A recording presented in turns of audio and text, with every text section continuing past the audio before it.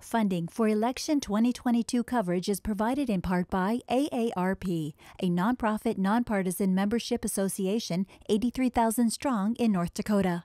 Find information on how to make your voice heard in the 2022 election at aarp.org/ndvotes. And by the members of Prairie Public.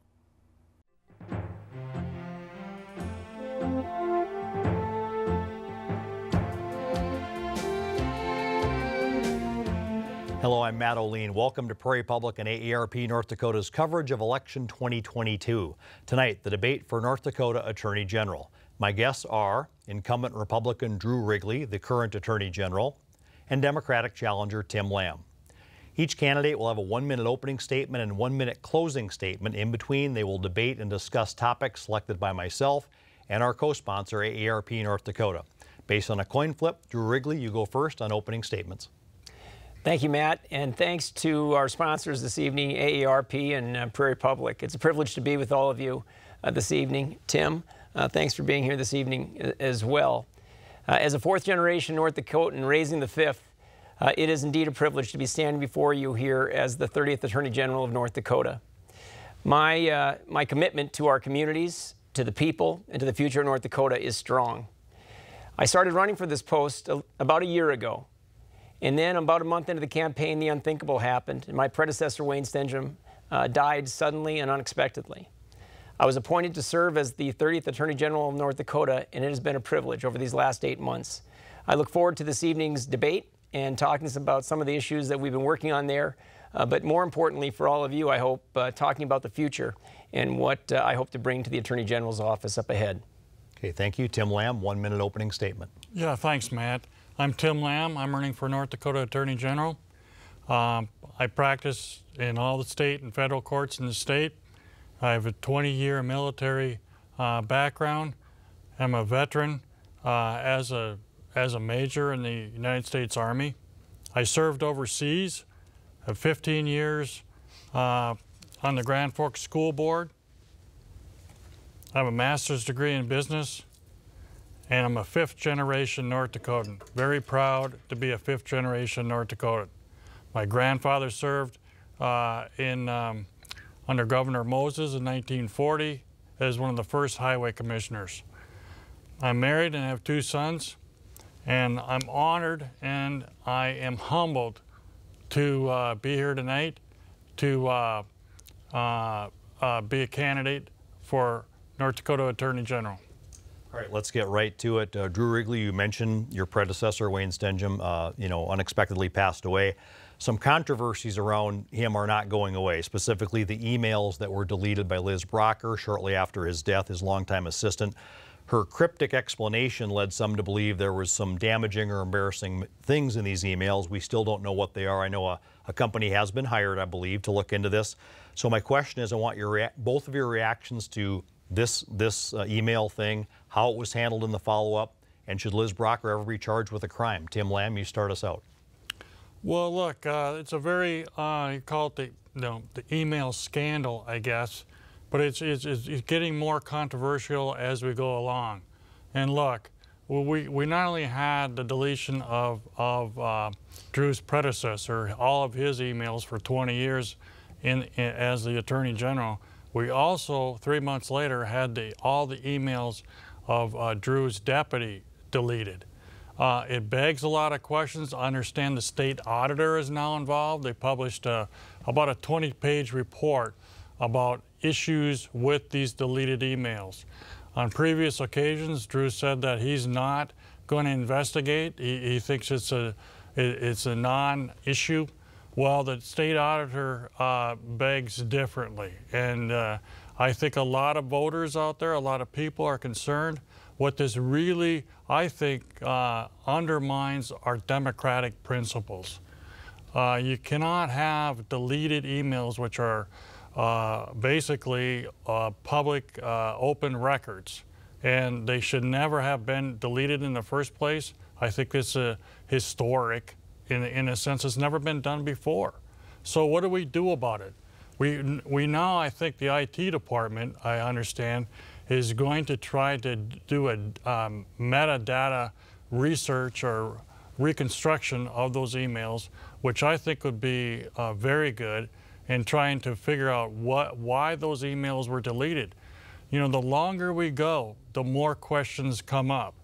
And it really is uh, a question of undermining our democracy when you start to delete public records that may have vital information about who knows. I mean, all you can do is speculate at this point. get Drew Wrigley in for a response, and then this will continue. I know it will. So, Drew Wrigley. Uh, thanks, Matt. I'm, I'm, glad we're starting off the debate with a, uh, a question on which my uh, opponent and I can agree. Uh, I think pretty much universal agreement that uh, the deletion of those emails, which, uh, you know, the record is established quite firmly has nothing to do with my administration of the office. It's, it's troubling, and it was, there's no one more troubled than am I. In the hours following Wayne's death, it was ordered by the deputy at the time. He is no longer the deputy. He was the deputy at the time. He ordered uh, Liz Brocker to uh, delete that email account.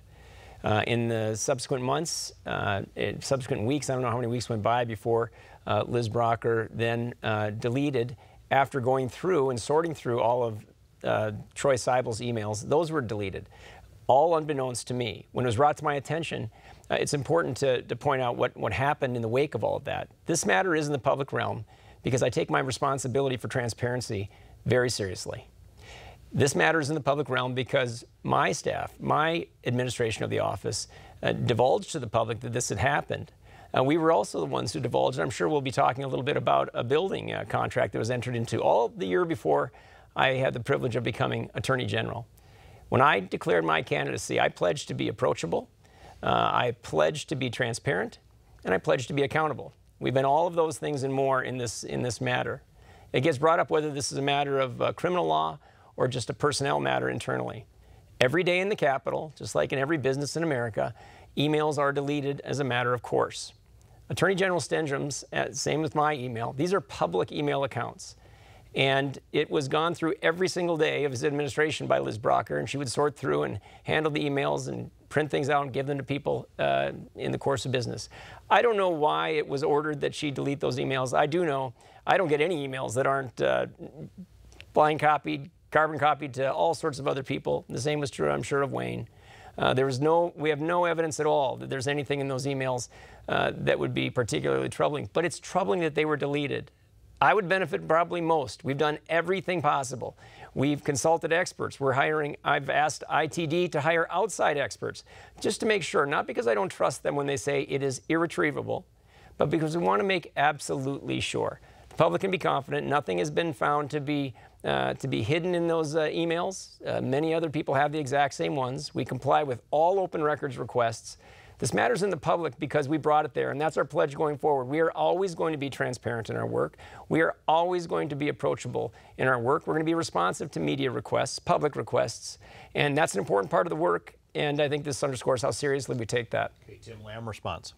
Yeah, I mean, this has uh, been Drew has been in office now for over six months.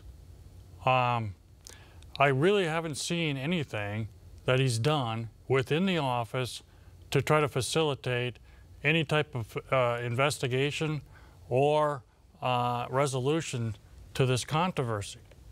What's happened is departments outside his office, in the uh, auditor's office, in the IT department, they have come up and said, look, this is a serious problem and it deserves an independent investigation. I asked for that at the get-go. And as soon as this came up, I said we needed to have an independent investigation. Let's get this thing uh, put to rest. It wasn't done, and it still hasn't been done. Drew has got to take responsibility for this. It undermines our democratic principles. And I think the public should be outraged over it. It, it doesn't it, it's the first time it's ever happened, and nothing's been done about it. And, and to say, well, emails are deleted every day, yeah, of course, but not the entire batch of emails of two of his employees, of two employees of the uh, Office of Attorney General. Uh, and he has to take responsibility for that, and I don't think he has. I will. If I'm elected, I will take responsibility. Wrigley response. Yeah, it's important to, to underscore again that uh, Wayne's uh, emails were deleted before I got there. Troy's were uh, deleted without my knowledge. The person who did that no longer works in the Attorney General's office after a 20 year career there. I, I think it's uh, remarkable, actually, that Tim would say we've done nothing. This is in the public realm because we put it there. We put this out there to acknowledge the people that this had happened. We moved heaven and earth. We provided every document we possibly could to investigators, people looking through this, IT people, technical, technologically advanced people going around looking to get those emails back. Everything that was possible, and we're still doing. I said, we'll spare no expense. If some outside entity can find them in any way, we will get them. That's our pledge. But it's important. Talk about a red herring. Uh, this gets bandied about the idea that, well, we won't charge somebody. No, I've been a prosecutor a long time. I've charged everybody with everything from misdemeanors to capital murder. I've charged everything in between. Thousands of cases over my long career as a prosecutor. Uh, we usually go on evidence. Tim should try that if he ever becomes a prosecutor. He should base his cases on evidence. There is no evidence of criminal wrongdoing. You don't have to just listen to me. Jack McDonald, the foremost expert in the state, probably on open records, who's, uh, who's played a hand in the passage of innumerable open records uh, types legislation and open, open meetings, open records, he said from the beginning, troubling, not illegal. There's all sorts of talk about having a state's attorney look at it. A state's attorney in Burleigh County looked at this. She chuckled on the phone to me and said the same thing. Really unfortunate, obviously not illegal. The foremost experts in the state that work with open records every day in our office, from the beginning, looked through it, evaluated, it, everyone, myself included, troubled but everyone recognizing there's nothing illegal. So I'm not going to do political theatrics and run run over across the street and hand off a file and say, here, uh, why don't we just keep uh, keep this thing going on? This is an important matter. That doesn't make it a criminal matter. We've taken it seriously. We put it in the public realm. Our commitment is always to be transparent. We've been that here and we've been thorough, and it continues on uh, up ahead. We've had no other uh, open record requests that we couldn't meet as a result of it, and we'll always meet those every time. So, as a follow up, then, and then we'll move on to the next topic, Tim Lamb if, if elected, would you pursue this further in charging Liz Brocker if, if indeed there was a crime committed or if there hasn't been a crime committed, as, as Mr. Wrigley says? Right. I mean, uh, I think the, the, the, issue is here uh, the Attorney General's office isn't the prosecutor here. What we do, or what I would do as the Attorney General, is I would appoint a special Assistant Attorney General to investigate this matter. If it turns out that there was a law that was violated, then indeed that would be turned over to a district uh, prosecutor to prosecute. And I, I think that's important. And I think the reason why this came out, obviously, is because that there was an issue with the AG's office building in downtown Bismarck and a $1.8 million cost overrun. And so there was a request for open records as to what happened there. And those emails that came out as, to, as a result of, of uh, that, that, that open records request are very troubling. They show that there may be corruption within the Department of, uh, of the uh, uh Attorney General's office. And that, those emails, the, there was just a touch, just the tip of the iceberg of emails that came out. What we haven't seen are all of Wayne's, the former Attorney General's emails, and if we can get Troy uh, Seibel's, the deputy emails, then we might have some evidence, some real evidence as to what happened here. We don't have any evidence, so obviously you can say, hey, there's nothing, there's no there there. Well, there is something there if you look into the evidence. We are, we are going to get the building, the next, very next topic, but last word on this uh, topic, Drew Wrigley, last word, and then we'll move on. I just on. have to say again, I, Tim's either leaving stuff out intentionally to mislead the audience, or he doesn't know much about this situation at all. That building cost overrun happened a year before I took office. It hadn't been spoken of publicly or brought to the legislature's attention by anybody until the day after the deputy at the time. He and I parted ways. He left the Attorney General's office. And the next day, the budget people came to me and said, Drew, there's something you need to know. We're in so much trouble. I said, How much, how much trouble? And she didn't smile. And she, I said, When are we in trouble? She said, Next year when the auditors come through. And I looked at her and said, We're in trouble this year then. So I said, Bring me everything. We brought that to the public's attention. That's our responsibility. The public didn't know anything about it. It happened a year before. Tim either doesn't know that or he's just trying to mislead the audience. We brought that forward. I- that's a I, I, that- I would that's a great, to that uh, characterization. Okay. There, there's been Okay. plenty that's been brought out on this issue. It's all been brought out because of us. That's our pledge going forward. That's the only important thing in this whole matter. And it's been investigated very in, in tremendous detail by a number of people. Tim doesn't like that nobody, none of the experts think it should be prosecuted because there's no crime been committed. I've never charged a, ca- I've never charged a case when there wasn't a crime. Outrage, and we're outraged, is not a crime. Okay, let's move to the next topic. You have both talked about this building in Bismarck, and uh, uh, it's a Bis- it's a building that Bismarck State Representative Jason Dockter wanted to lease and purchase, and he approached the AG's office about this. There were massive cost overruns not approved by the state legislature. So, I guess my debate topic or question, however you guys want to do this, uh, how does, if elected, each of you ensure this is not going to happen again? And two, uh, you know, where does this go from here, if anywhere?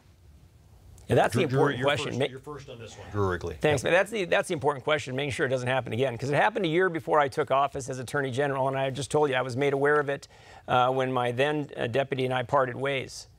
When I was made aware of it, the next day, 24 hours later, after we had gathered every document possible in the in the office, everything, every scrap of paper, I said, we're going to call the auditor. The auditor came down. He had a look on his face like he had never seen anything like this. We divulged the entire thing. I said, here it all is. Here's all the documents. Here's the billing. Here's the name of the, I didn't know the name. We hadn't dealt with the people who owned it. We, uh, we called all of them in. We got to the bottom of it rapidly, getting all the information, had the meetings. And the auditor um, then, uh, and then I said, the next thing we're going to do is we're going to sit down with legislative leaders, not just Republicans, Republicans and Democrats. And I did that. My, my new deputy, uh, an outstanding lawyer, uh, Claire Ness, and I sat down with legislative leadership, Republicans and Democrats, and told them everything about the building. Asked them, what would you like us to do next? I don't know how to be more transparent than that and accountable. They said, "Can you go to the legislature uh, tomorrow? Is tomorrow too quick? Can you, or we won't, won't have time to put together a presentation?" I said, "I don't need a presentation. I'm going to go in there and I'll tell them everything we know." And I did. I talked to a legislative committee, bipartisan committee, down in the Senate chambers, and we went from there. There have been the auditor's been evaluating this matter with the full assistance of us, and why wouldn't we? We want to get to the bottom of that more than anybody. The most important thing that'll come out of this is that state government will recognize that uh, just because someone is an office holder doesn't make them an office manager. There needs to be a lot more transparency. When they were going through this whole process about cost overruns and whether it's a good idea to go to that building in the first place, those are all things that happened before I got there. But because of what we did, because of how Claire Ness and I have handled this matter going throughout, the government's much more informed. They're going to have the information to make decisions going forward about how the government should make, enter into contracts, buy property, lease property.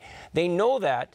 I say this with all humility. They know that because Drew Wrigley was Attorney General and we turned that information over. We made them aware of what they did not know, and they will be able to act because of what they now do know. Okay, Tim Lamb responds. Yeah, I mean, we're talking about a $1.8 million cost overrun. Drew is in office for three months, and he's saying, Oh, I just discovered it three months after I was in office. Uh, and that's hard to believe. That's a very hard pill to, to swallow.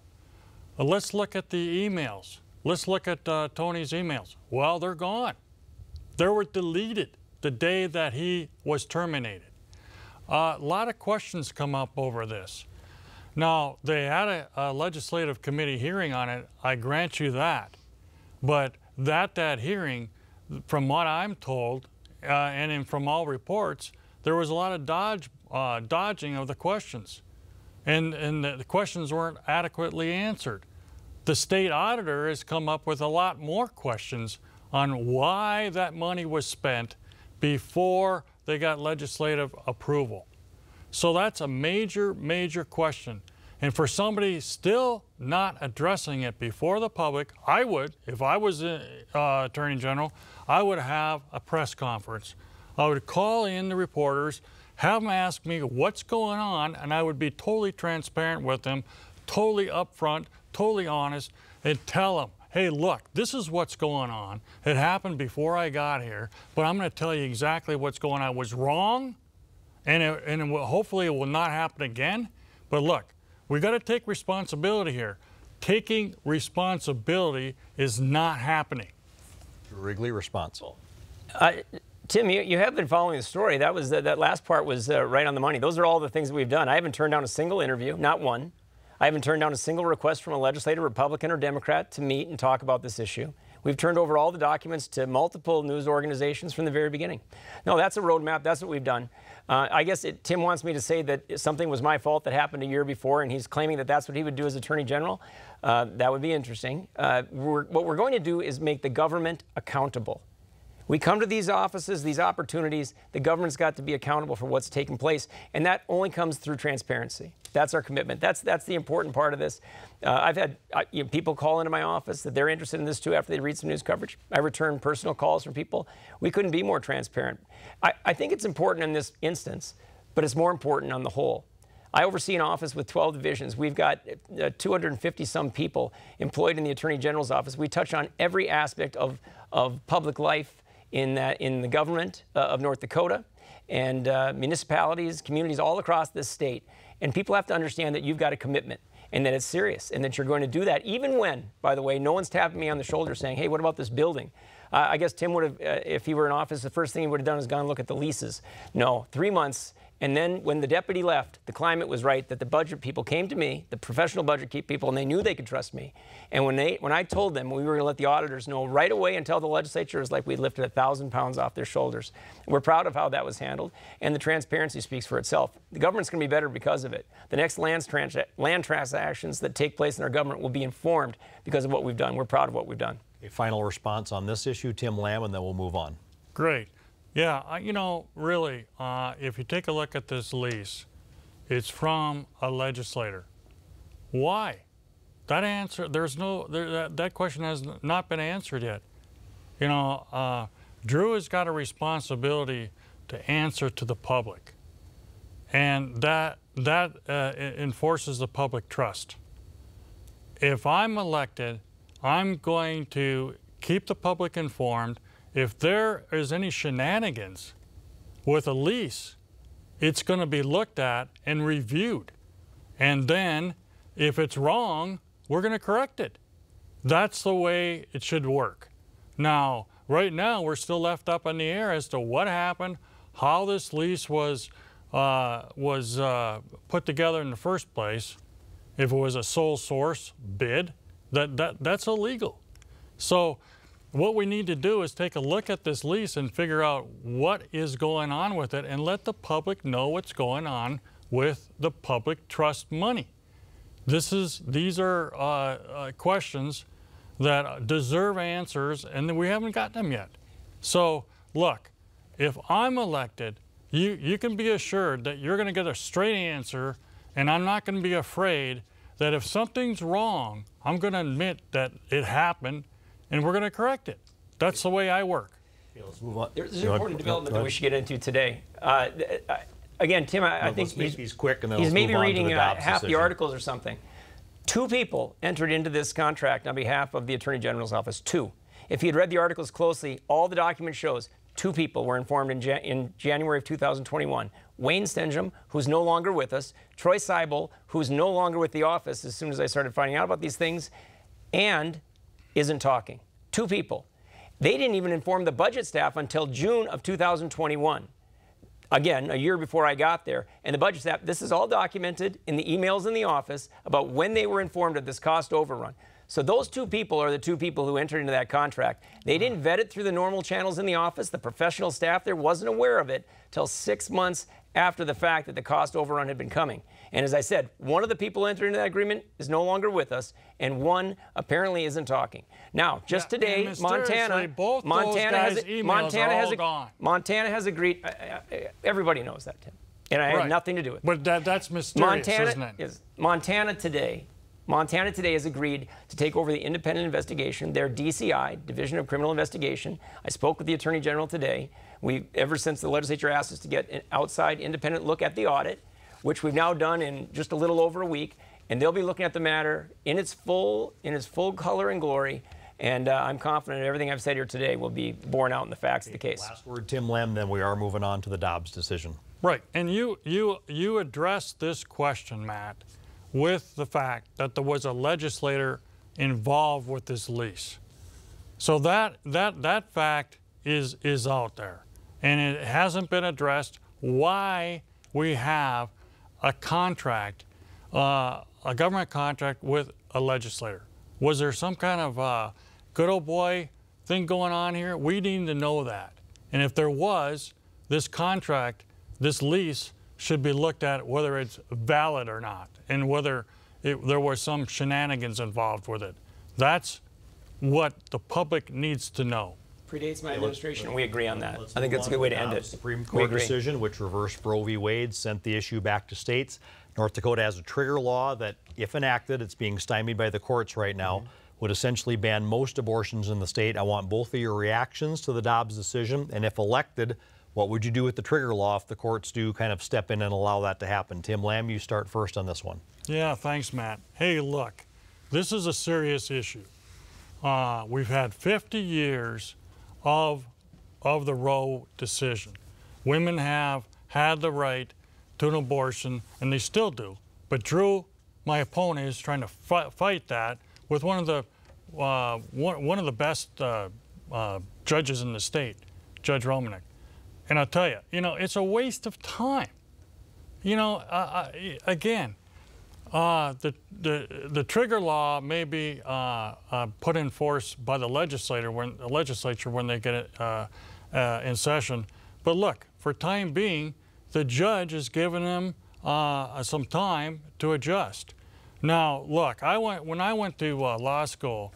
I was told by my constitutional law instructor that Roe v. Wade was set in law, and if you looked at all uh, or listened to the justices that came up before the Judicial Committee uh, during their Senate confirmation hearings, they all said Roe was settled and it was not going to be overturned.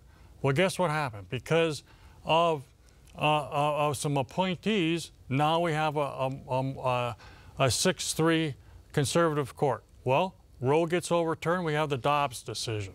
The Dobbs decision puts stare decisis, as we call it in legal terms, on its head. It turns constitutional law upside down. Women have a right to be outraged.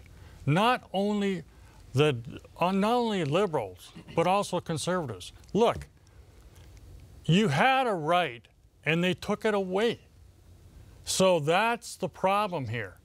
And women in general, I think, what this is saying is women are second class citizens.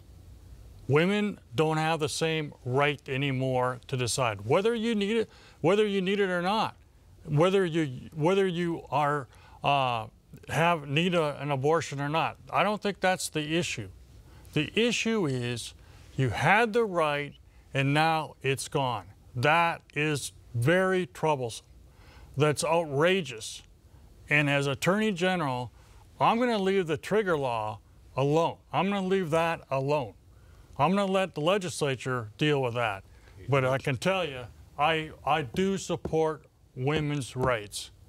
Uh, Drew Wrigley, response. My opponent has literally just told the listeners that he's going to disobey North Dakota law if he's Attorney General. Not figuratively, he's literally said that. The trigger law, it, it called on the Attorney General to do one thing if the Supreme Court of the United States overturned Roe v. Wade to certify to the legislature that Roe v. Wade had been overturned. It was that simple. It could have been written in crayon. So that is what we did, obviously. And if we didn't, if we weren't good readers and couldn't tell that Roe v. Wade had obviously been overread, we could find the sentences where it said it is overturning Roe v. Wade. You have to have humility in this work. That's not easy for a lawyer sometimes. You have to have the humility to know you don't run the world. You are subject to the laws of the land. You are subject to the laws of the legislature. The North Dakota legislature, in a bipartisan bill signed into law by then Governor John Hoeven, back in I think it was 2014 or 2007, it was back when Senator or now Senator Hoeven was governor. It was signed bipartisan, it was proposed to the legislature, bipartisan proposal, signed into law, and it contained a trigger. It said it had uh, uh, provisions for uh, outlawing abortion in certain instances, and then said that it, it understood that the law of the land at the time was Roe v. Wade. But if it ever changed, the Attorney General, whoever that was going to be, was to certify, basically notify, the legislature that that had happened. Now that would be pretty funny reading of things on my part. If I if I said, you know what, I think I'll decide uh, what to do with that law. No, that law was that was decided by bipartisan representatives elected by the people of North Dakota, signed into law by the governor. That is the law of North Dakota. The Supreme Court of the United States overturned Roe v. Wade. They they in, they turned this decision back to states and said, states, this is a matter that isn't explicitly spoken to in the Constitution. Your elected representatives and your governors signing things into law, they will make the laws of your state in this realm. That's what happened. So all across the United States, abortion laws are taking effect because for the first time in, yes, 50 years, the Supreme Court has said that is your responsibility. They didn't tell them what they had to do with it. Well, North Dakota had already spoken to it. My job was to certify, and we did certify. Judge Romanick, uh, he didn't, I, this talk about he intervened and thought, well, we just need a little time to adjust. That's not the way the law works. He made some findings, part of which was overturned this, this afternoon by the North Dakota Supreme Court. And they, he's been ordered now to make the findings that he refused to make when he made that order. I know, it's startling, right, Tim? That happened today. And so we'll have that in the weeks up ahead. But people can count on this from me. I will battle to ensure that we uphold the laws as passed by all the listeners by the, the people that they represent, that they elect to represent them. And that is what we're charged to do with. Not this idea that Tim seems to have. If he's outraged about something, things can, that can change the law. That's not the way that it works. And uh, that's not the way I'll ever carry out my responsibilities. I'm here to uphold the people's law in North Dakota. Okay, Tim Lamb responds. Yeah, I, you know, it's, uh, we all understand, I mean, it's a complicated rule. Uh, that the legislator pa legislature passed, they say, hey, look, a Roe v. Wade gets overturned, we're going to trigger in abortion, uh, the illegal, uh, make abortions illegal in the state. Well, what, what Judge Romanick said, and, and, when they brought this to the, the court and it was uh, fought, uh, he said, well, look, give him, give him some time. Give him some time to make the transition over to Moorhead. Well, Drew uh, said, no, we, we don't uh, think that's right. We're, we're going to fight that. And Romanick said, no, my rule stands. Well, I think it's up to really the legislature. I think I'm, and I, I guess uh, I understand that North Dakota is going to, uh, you know, we're going to eventually lose um, the right to a, an abortion. I get that.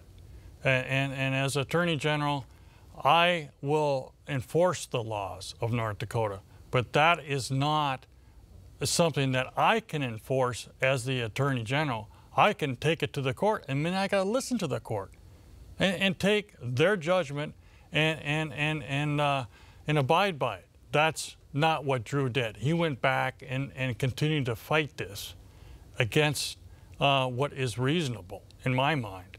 Now, look, there, there's more issues that are going to come out of this, and I'm more concerned about the choice that the doctor has when he's faced with uh, an emergency that a pregnant woman, a woman might come into the office with. And, and if we don't have uh, uh, abortion rights in our state, how does that affect the, the doctors? And I'm really concerned about that and how the Attorney General is going to interpret a law that says doctors don't have the right to make that choice. What, how is that going to be interpreted? Okay, Drew Wrigley, last word on this, and we do move, need to move on to our next topic. Well, I, I, can speak to the issue of eight months of making very difficult decisions as Attorney General, and you're called upon to do that. What you don't get to do is speak on both sides of the issues when you're making those decisions. Uh, Tim's going to uphold the law, and then he's going to flout the law. He says the judge is just trying to give people a little time to adjust to move over to Moorhead. He needs to read the opinion again. It says nothing of the sort. That wouldn't be a legal opinion at all. That would be coffee talk uh, in a cafe someplace. This is law. The law is duly passed by the state of North Dakota's legislature, signed into law, and as I said before, I, they could have written this provision in crayon. Tim knows this. He's read it. It says literally the Attorney General's job is to certify when and if Roe v. Wade has been overturned. Roe v. Wade has been overturned. That's been certified. And Judge Romanick today was his, his, his order that Tim is mischaracterizing, but referencing today, has been turned over in part and the Supreme Court has instructed him, no, you have to explain to us why you think you have any chance of prevailing on this up ahead.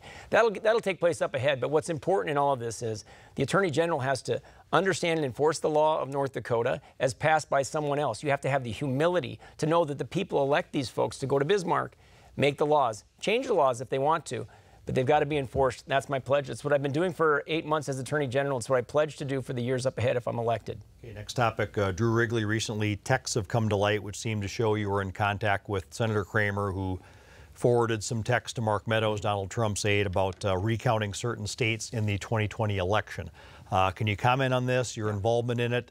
Uh, and then Tim Lamb, of course, you're going to want to respond to this as well, your reaction to all this. Yes, you bet. Drew, you start first on this one. I had the privilege of twice serving the state of North Dakota as the presidentially appointed, uh, Senate confirmed United States Attorney, both under President uh, Bush and then under President Trump.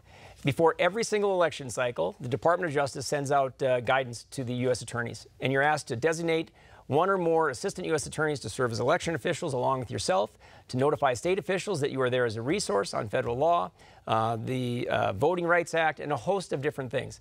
The carrying out of elections, the counting of ballots where federal elections are impacted. We did that every single election when I was in office, uh, so that's no different.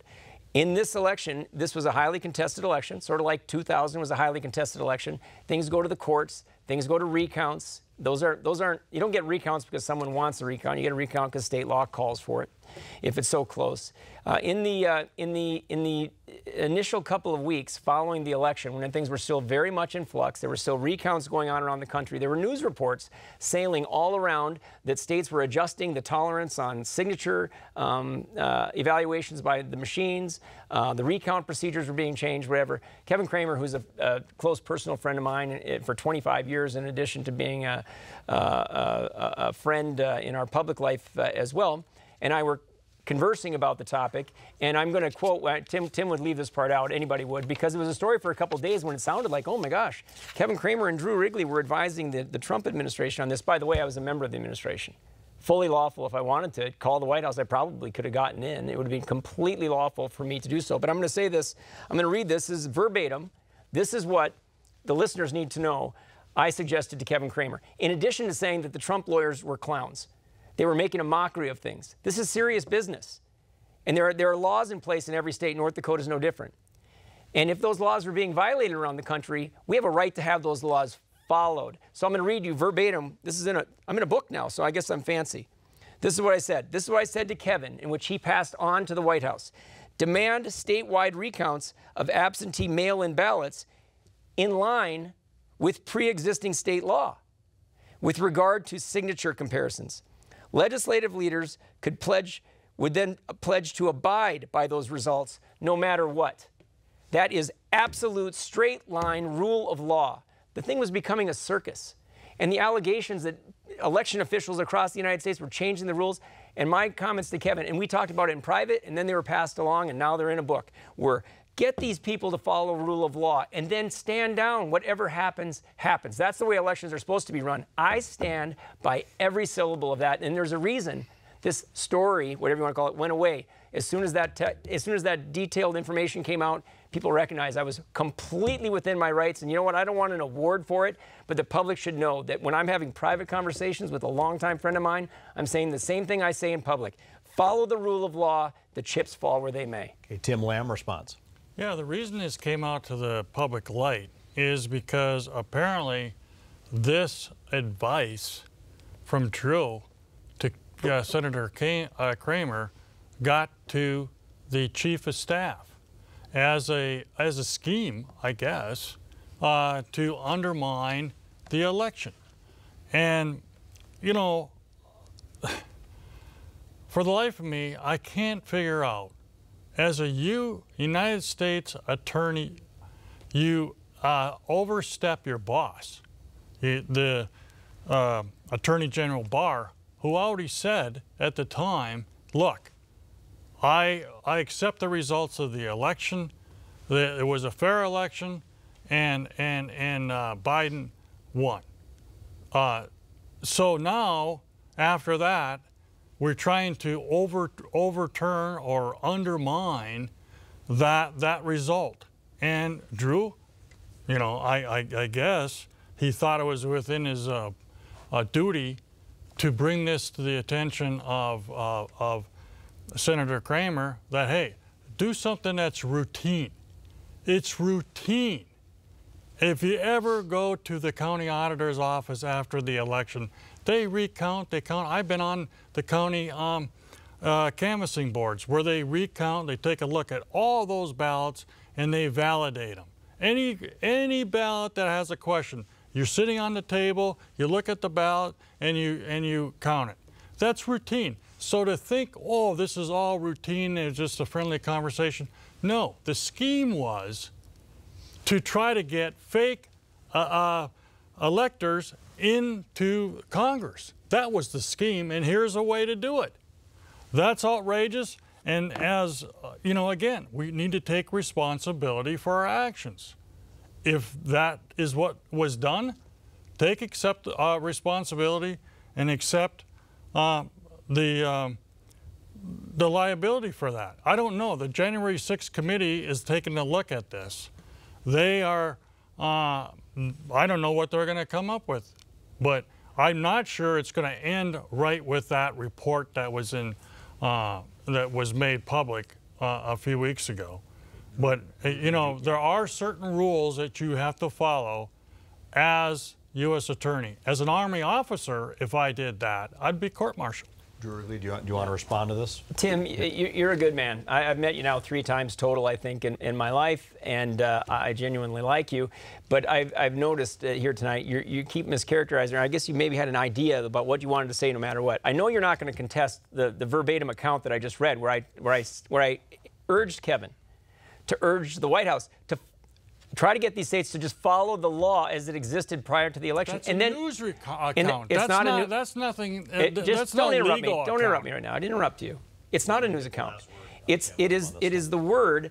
Of, that's what was passed on from Kevin Cramer to the White House, and I stand by every word of it. Where I said, follow the rule of law, and the chips fall where they may. Legislative leaders could pledge to abide by the results no matter what. That is squarely within my responsibilities. And if Tim checked the dates on when people said who said what when, uh, Attorney General Barr made his public pronouncements after this conversation that I had with Kevin Cramer. The important thing is, I said in private what I said in public, and I say here today.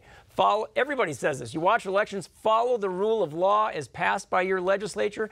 Chips fall where they may. Don't don't be messing around with that stuff in the middle of an election. And uh, when you canvass and we go through and we have recounts and they're close calls, rule of law will get us through through all of these things. When it's followed, the public can have faith.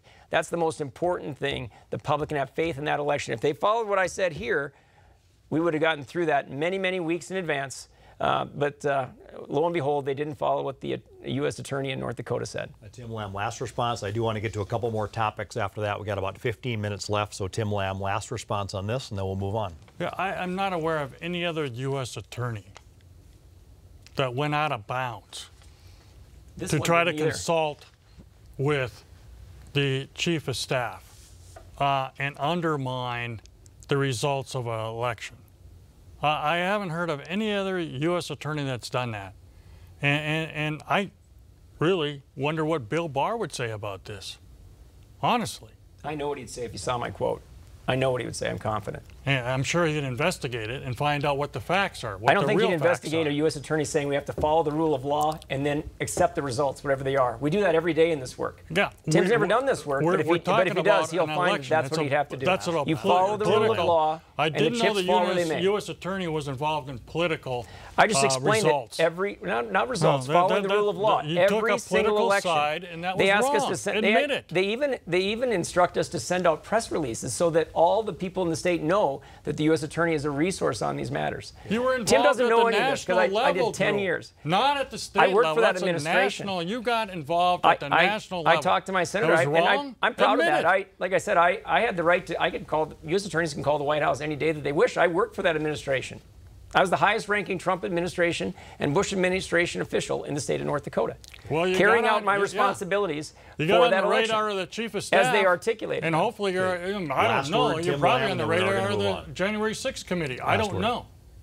We'll find out.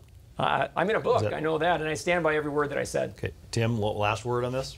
Well, you- I just okay. think I just think again, you know, uh, the common theme here is is is deny, deny, deny.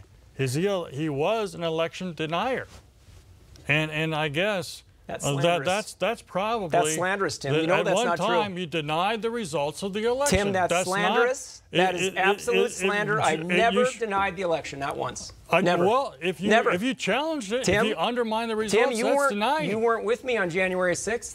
When I- those things hey, were look. happening? You don't know anything about what you just said. You just slandered me. I'd like Yeah, an apology. I, I tell you. I think you, you owe know, an apology you to the should, voters. You should, you you don't should get to just say whatever to you the want. public for doing what you did. Tim, I I've- haven't I've- heard it. I, you're not even able to contest what I acknowledge what I did. I stand by every bit of it. It's rule of law and saying chips fall where they may. And now you've slandered me by saying something that is patently false. I was never Yeah, an election you know, denier. Last you, word. Never. You, you Not for a throw moment. seconds, around we're that word on. slander like Not it's, for a moment. like No, it's candy. like it's actionable. You know. I, I don't know. Like it's actionable. You know, if it's actionable, uh, let's hear it. But you know, you're you're already uh, on the books of saying what you did. You haven't denied. It. I it. just read it today. You haven't denied it. You haven't denied saying. Are you not going to apply the law? If it- it- Do you well, not want the chips I- to fall you where they may You don't apply the law to yourself. There's somebody I do else it every that does that. Like the January 6th committee. Maybe they'll find out something. Okay, we are going to move on. Yeah. This was this was this was great though. Great great discussion. I got, I want to get our AARP question in. Our co-sponsor, Tim Lamb, you start us off on this one. Would you support the development of a program to provide restitution funds to fraud victims? And if so, what kind of program would you propose creating, and how would you administer it? Tim Lamb, you start on this one. Yeah, I, I think, you know, fraud uh, and, and scams are, are, are just getting uh, out of hand. And, and if I'm elected as Attorney General, look, I, I, you know, the demographics are that we're getting more elderly people. And I really think that we ought to have um, an elder advocacy committee or maybe even department within the Attorney General's office to really focus on these issues with uh, fraud and scams. We ought to take a look at uh, pre- prescription drug costs, take a look at the public, make sure the public uh, pension benefits are enforced, and, and uh, obviously Medicare and Social Security benefits you know, those are, are, are, are huge things that we need to protect. And I'm in favor of that. And obviously, uh, protecting services and support for independent living, as well as protecting uh, uh, uh, affordable heat and electrical bills. Look, you know, as far as any restitution, that I think that's pretty easy to do. And what we need, what we, we, we, we, we, what we would do, if I'm elected, is I would have this department take a look at each one of these particular cases, and if there was a scam involved, then restitution is merited. Okay, Drew Wrigley response. Then we're going to move on to another topic. We got about 10 minutes left. This Yeah. is great. Appreciate this question. Uh, the uh, our, our one of our divisions is the the, the CPAT Consumer Protection uh, Division, which uh, is out there looking for fraud, detecting fraud, investigating, and then prosecuting fraud cases. Uh, the CPAT brings in uh, a a couple million dollars easily uh, every biennium. We've got another. Uh, we've got a Medicaid fraud uh, unit that's out. In just the eight months since I become Attorney General, they have reclaimed enough money out of Medicaid fraud prosecutions to pay for their entire budget uh, for the two-year biennium. We're strongly committed to it. It's been a privilege. It has been a privilege in my life to serve 17 years in law enforcement, five years at the front lines of one of America's most violent cities uh, as an assistant district attorney, twice as the presidentially appointed uh, United States attorney. We, we recognize uh, the vulnerabilities of, of all citizens, and when it comes to elder abuse, uh, elder uh, people out there trying to defraud our, our more elderly uh, populations. We've been committed across that time period. Uh, this is another thing that Tim and I, uh, you know, share that that idea that this is important. It already is. It's functioning very, very well in our office. We remain committed to it. Um, our upcoming budget, uh, if anything, seeks to bolster both of those uh, units. We're adding people to the Medicaid fraud unit uh, in the budget that we're proposing. It's a it's an ongoing commitment, and we've had tremendous success, and we're, we're hoping for more. Okay, I want to get one more topic in, and Drew Wrigley, you'll start us off on this one. Two recent shootings in Fargo and Mapleton have drawn interest. Uh, both instances, Drew Wrigley, you determined the shooting of Shane Netterville in Fargo and Anthony Martinez in Mapleton were justified by police. I want you to talk both about how this process was reached, and if elected, how would you handle situations like this? Uh, that question for both of you. Drew Wrigley, you start out. If elected uh, for a full term in this office, I will carry it out exactly the way we've carried it out here. We were asked to uh, evaluate these uh, officer involved shootings because of the fact that uh, there was some concern with the state's attorneys, uh, with the state's attorney in question, Birch, Birch Burdick, that, that it may appear he was too close with the law enforcement entity involved, Fargo Police Department. Uh, we took that responsibility on in our office. We got uh, the complete, all the police reports, all the information that we could.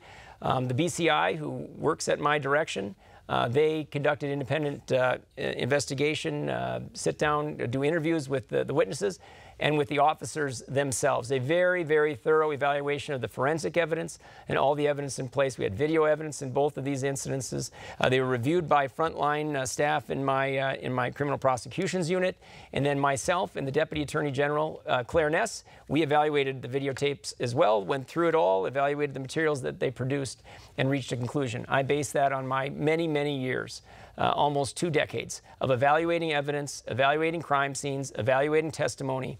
And we went forward, we found in each of those instances, all of the officers involved, their conduct was not only, uh, was not only brave and courageous, and it was, it was also justified, it was also lawful in every respect.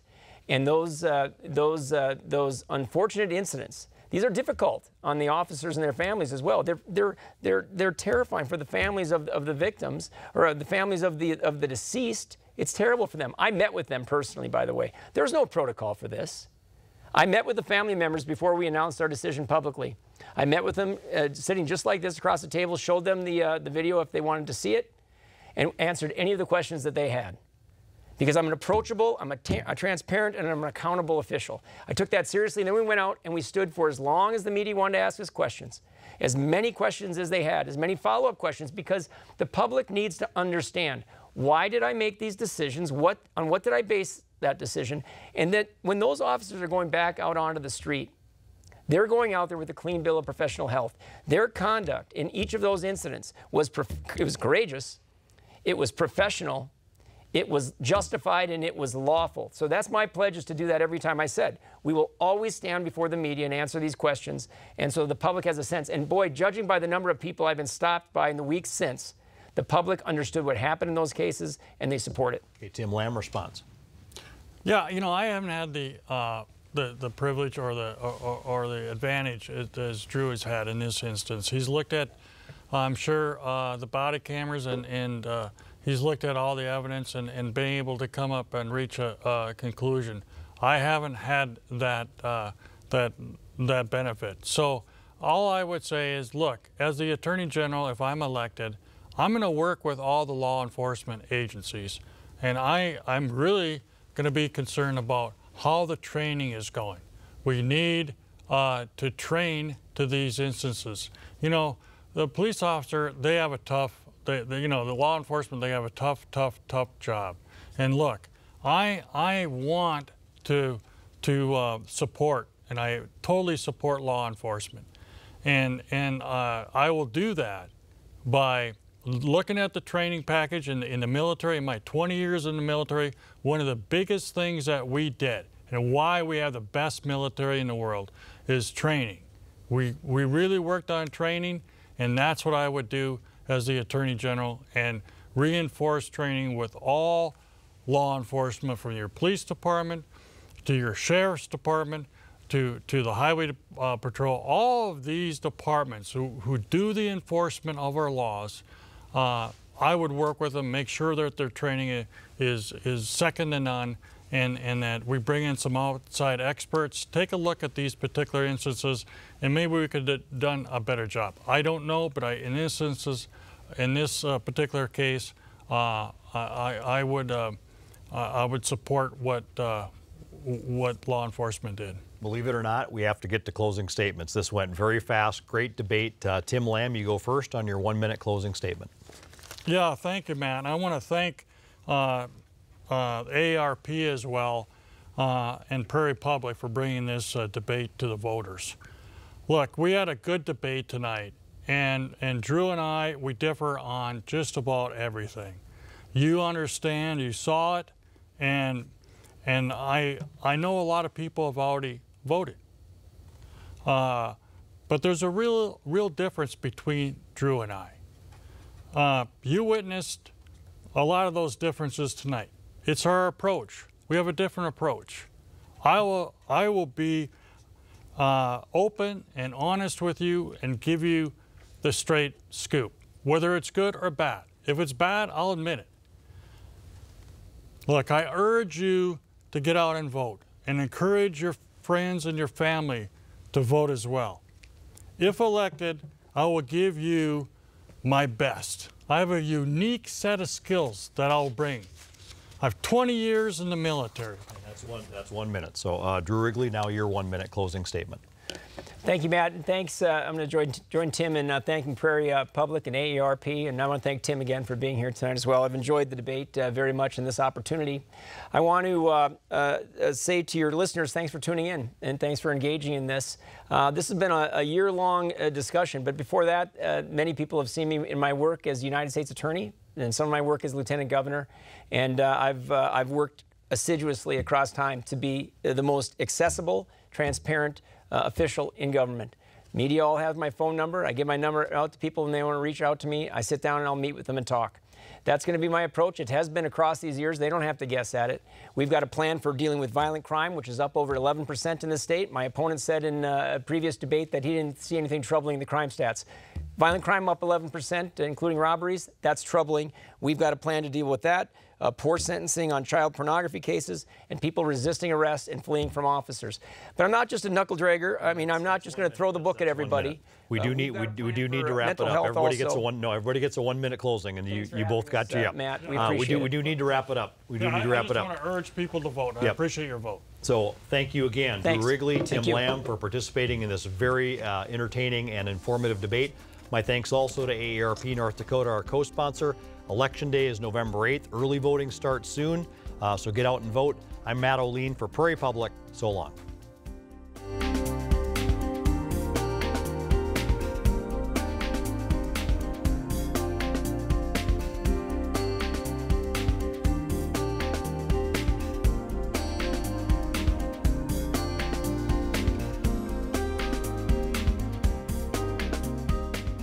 Funding for Election 2022 coverage is provided in part by AARP, a nonprofit nonpartisan membership association 83,000 strong in North Dakota. Find information on how to make your voice heard in the 2022 election at aarp.org/ndvotes. And by the members of Prairie Public.